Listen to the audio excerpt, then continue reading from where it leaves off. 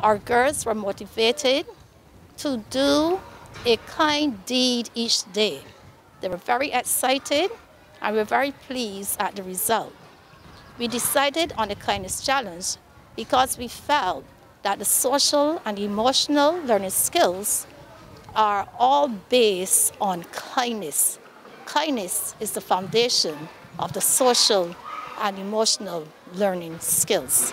I feel good about giving to others in need and donating because you do not know what other people are going through in these hard times. Donating is very heartwarming to see that you are able to give a family in need something to at least help them.